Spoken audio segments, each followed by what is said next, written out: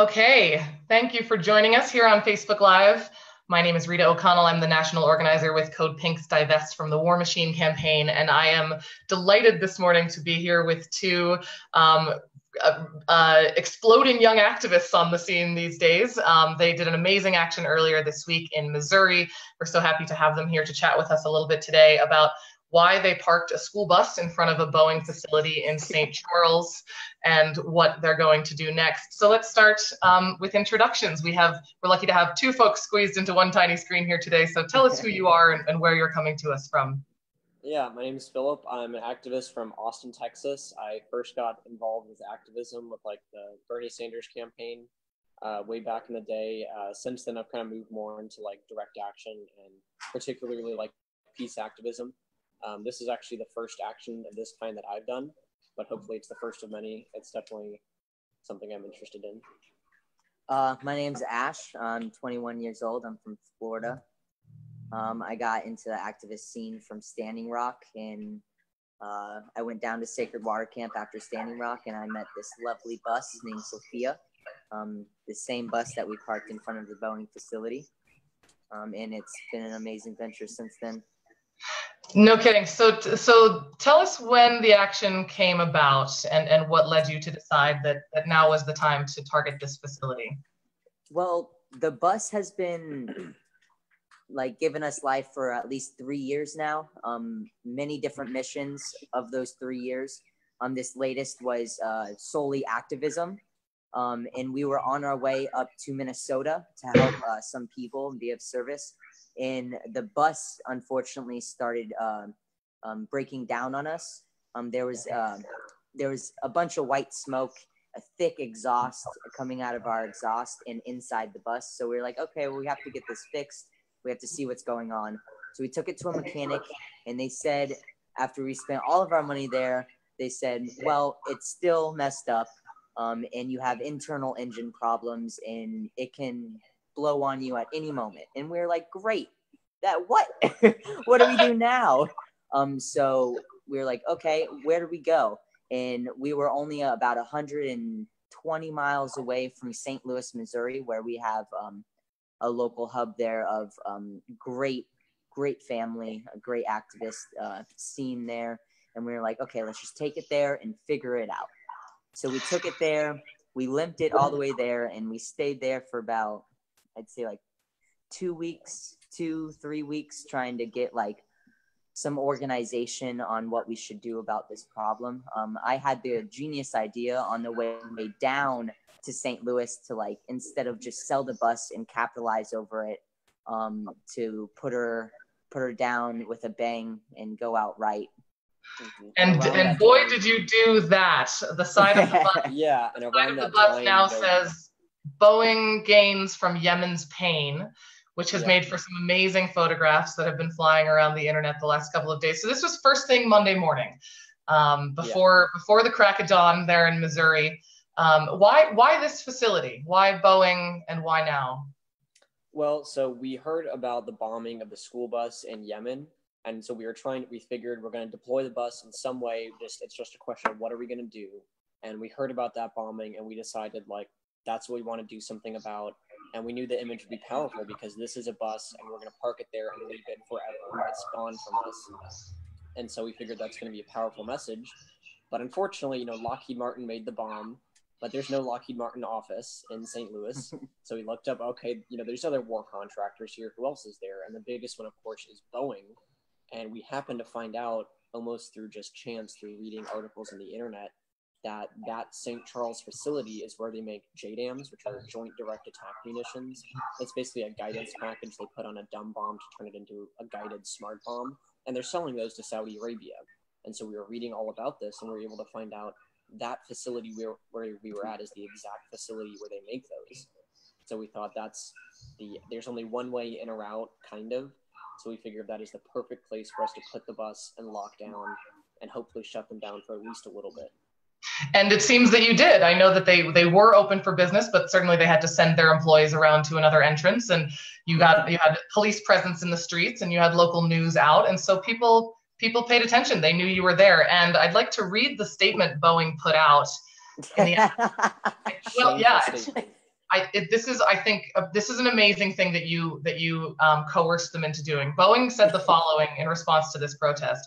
Boeing supports U.S. government sales as requested by our customers, including development and procurement of new and existing weapons capabilities, supporting more than 35 global allies. And then they say this, which I think is the best part. Specific questions regarding international arms sales and operations should be directed to the US government. Wow. That is absolutely shameful. I can't. Absolutely. What a dodge. I mean, I laughed, but in the bad way. yeah, yeah. I, mean, I thought I thought they would do what all the cops there were saying to us, which was like, you know, the bomb they used on that school bus wasn't even made by Boeing. And I'm like, oh, geez, yeah, we spent hours researching this. We actually know what we're talking about. so I thought Boeing would go that route of like, we didn't do anything, we're innocent. But no, it's amazing. It's amazing how much it shows their complicity. They they know fully what they're doing. Yeah, I think it's totally shameful. They yeah. basically just said, "Yep, we sell weapons to lots of people, and if you have questions about it, talk to the government."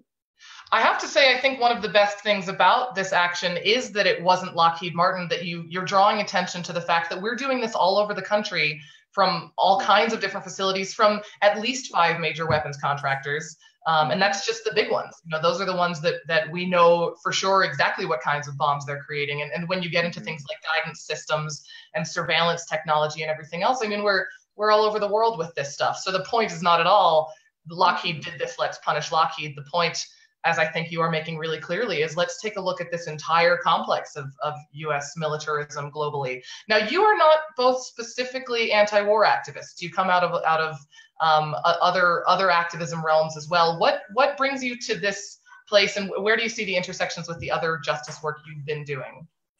At least for me, I think that this was like learning about U.S. foreign policy is one of the things that first got me like really outraged and radicalized about like what's going on in the world and my personal role in that. Um, before this, it's been mostly like pipeline things like from Standing Rock up until now. But it's mainly because I didn't really know that there was other anti-war activism that was happening. Like it just seemed like that was kind of an old thing, and maybe there's groups about it, but you know I never heard about it. And so you know we thought, okay, whatever, I'm going to do this action anyway. But now that I realize there is this much larger network of people doing things. I mean, I would say I am an anti-war activist now. So before this, I was, and I just didn't realize there was like stuff I could really be doing about it. But Bravo. First action of many, I hope. Mm-hmm. Well said. And, and what about you, Ash? Um, he hit that perfectly. Um, I'm more of uh, I want to go to the root cause of the issues and um, it's it's very impactful to go to like the like capitalism is the output of like like they're causing pipelines and they're causing all of these uh, things to destruct this earth. Um and that's just like they're causing that. And i don't want to go to the effect i want to go to the root of it and kill the root. I want to stop the root and take it out of the soil so it doesn't further spread. And if we're capitalizing over death, that's like the ultimate capitalism. Yeah, in my absolutely. And you've it's both like done ultimate intersection between like capitalism and imperialism is like there's these huge, I mean, massive corporations that literally make money off of killing people. Like the more intense wars are and the longer they go on, the better their share price does. The more money Boeing makes and Lockheed Martin, and it's like, and it's all made possible because of racism because oh these are just poor brown people in Yemen, so they're just not seen by the corporate media. They're just discounted. They don't qualify for human status. So for me, that's what motivates me is like anti-war activism is like the intersection of like all of these other issues. It's like the apex of capitalism, imperialism, racism. Like it's all right there. It's beautifully articulated, and I know there will be a lot of folks in the anti-war movement who are delighted to see young people from other movements moving into this space and seeing that so clearly. I want to talk about how you didn't bring demands to Boeing. You um, you didn't um, come with any specific um, set of expectations. You you acted in solidarity with the victims in Yemen. And and Phillip, you said to the people of Yemen, I'd like to say that we have heard your cries and that you are not alone that is tremendously powerful stuff. And I know that it's been received by folks in Yemen. I saw um, some Facebook screen grabs of people people who saw you do this and who know now that that they are not alone and that there are American citizens who are standing up against uh, what our government is doing there. And then and then you go on to draw this amazing connection. The same corporate state that is responsible for your suffering in Yemen is responsible for our suffering from Flint to Ferguson to the bayous of Louisiana. Go, tell me more. yeah, I mean that's part of what we were doing is like we're not going to go to Boeing and do like the usual activism thing of saying we're upset and we would like you to do this and if you do this then we'll leave. Because I think you know we think that's just futile like they need to make money this is capitalism. So instead we wanted to act out of solidarity with our victims in Yemen and say like look Boeing we're not talking to you we're not addressing you. We want to motivate other people and other Americans to take bold and nonviolent action and it's not just like a sort of a charitable solidarity like people of yemen we're going to help you and it's not just a self-interest like we're being attacked by this corporate state we must defend ourselves. It's a recognition that it's both. We are under like the people of yemen and the people of the united states share a common enemy in the united states government and its corporate backers. And so it's like we should collaborate on this. It's not just solidarity. It's not just self-interest. It's like the higher fusion of those two things and I hope that like more people come to recognize that like all of these struggles are related, and it's you know we just have to stand stand in solidarity with each other. If we came with a list of demands, they would just throw the paper away immediately because our demands in their eyes would be absurd, mm-hmm. like completely absurd, and it wasn't about that. It was about that we wanted the people to know that we feel for them and we are sorry. And we this is all that we can do right now and i wish we could do more. And i'm sorry we can't do more but this is all we have right now. It's yeah, tremendously inspiring stuff. Mm-hmm. the media attention has been like really great like way more than we expected. But honestly we have been like most impacted by the fact that people in yemen have actually heard about this. For us that's like more meaningful than all of the other media attention is knowing that they heard about this and they sure. know like we're in this together.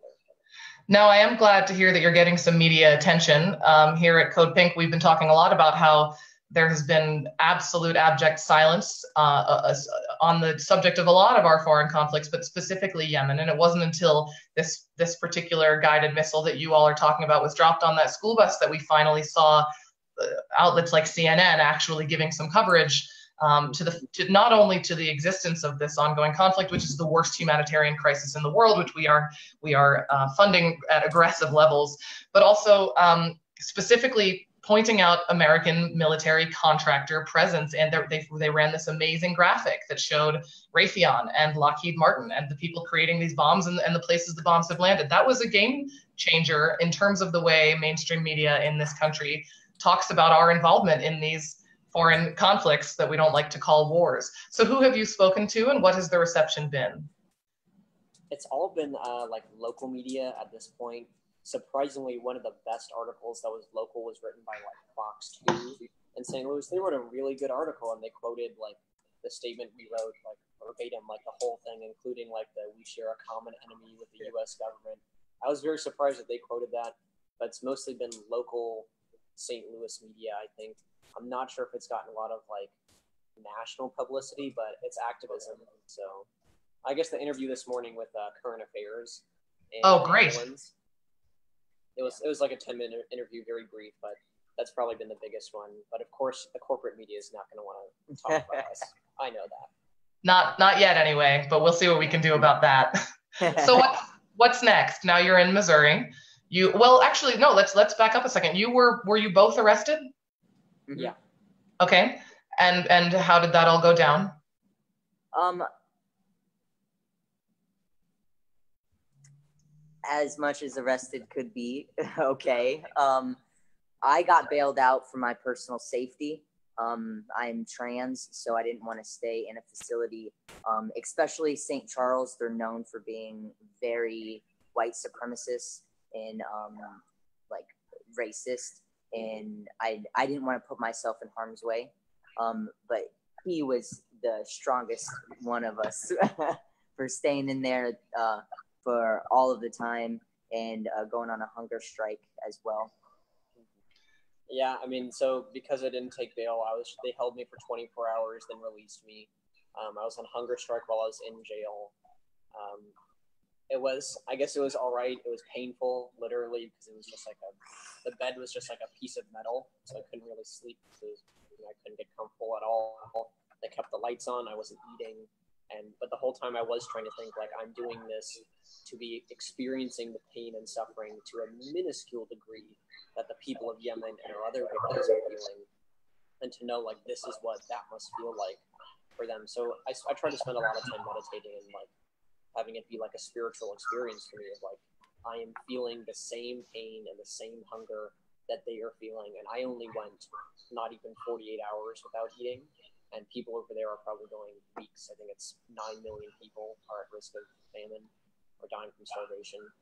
So that's you know what my suffering I think is you know absolutely minuscule in comparison.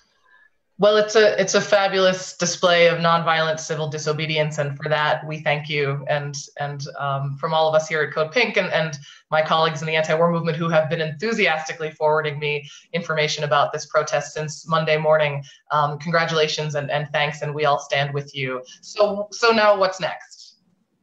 Um, we're actually in uh, Louisiana right now. Uh, Yeah, Um, longer story behind it. way longer story, nothing Okay. to do with anti-war Didn't- activism. Didn't take a bus. No, No, no. Um, the bus actually had six solar panels, and we had to unfortunately sell those to get another vehicle because um, I have a daughter and we need uh, at least some sort of transportation or somewhere that we can stay other than outside because it's frowned upon to live on Earth out in nature uh, Yeah. with a kid. Um, so we bought a vehicle and we're um, traveling in the vehicle now. Um, we went down to Louisiana and now we're on our way to Florida um, because I'm going to get top surgery. Um, and then hopefully, um, we I, I was born and raised in Florida, so of course the water crisis there is a major issue in my heart. So that's on the forefront of my mind, but no set plans yet. Fabulous. And Phillip, where are you heading? Yeah, we'll see. Not really sure yet. I know that there's um, there are things happening in Massachusetts, like actions against Raytheon, because they have headquarters there. I would be interested in going there and maybe seeing what that's about, but not really sure yet. But yeah, this is definitely a beginning, not an end. Well, if any of the folks in Boston are watching, I know that they are excited to connect with you. They've already reached out to me about it. So after this, um, Phillip, I'll be sure to get you some contacts uh, if Yeah, you head to New. England. Great. Yeah, Um, we'll probably and- be together. okay, unit. fabulous. Traveling together, seeing what comes next. Well, it's been a, a real pleasure to talk to you both. Um, I, I can't say enough about um, about how how um, remarkable it was that you just really just the, the couple of you showed up and, and pulled off this this fabulous stunt. And I, I think it shows a bit of a sea change in the way um, not just the activist community, but but everyone is starting to think about um, Yeah. American militarism in the world and, and the intersection of um, this with all of these other justice issues as you've discussed. So here at Code Pink, we're working on a Divest from the War Machine campaign. Um, if anyone watching is interested in learning about how you can personally divest your own complicity or that of your institutions or your communities, please email me divest at codepink.org. We'd love to help you um, plug into that campaign and, and connect with these folks too if you'd like to learn more about um, what their next actions might be. Briefly, I want to say you seem to be working with um, a group in Missouri Environmental Defense Fund who had Earth posted Defense Coalition. Earth Defense Coalition. My apologies. Um, so, so I assume they can find those folks online as well who are continuing to, to do some great work there in Missouri. Spectrum is increasing Oh. our starting internet speed to Pardon 200 megabit. um, I, I also want to uh, like remind everyone, you, uh, anybody that is seeing this or that will see this, that I like through my activism career so far. Um, I always thought that I needed my ducks in the row to like do an action, to get media, to get jail support, to get like like legal observers, to have all of this stuff in line before I do something. But that's not the point. We didn't do that with what we had. We had three people um, that put this on in a matter of four days because we got kicked out of the bus and were like, okay, well, we can't, we can't just leave it here. We got to do it. And just to really look deep down inside and to figure out why you're doing this and see the injustice and just do something about it. No matter what it is, just do it. No matter what the consequences, do it because you know it's right in your heart. That's a fabulous place to leave it. Thank you so much, Ash and Phillip. We'll be in touch, I'm sure. Thanks for watching uh, online, codepink.org, to find out more about us and what we're up to. Have a beautiful day. We'll talk to you all soon. Thank you. You as Thank you for having us.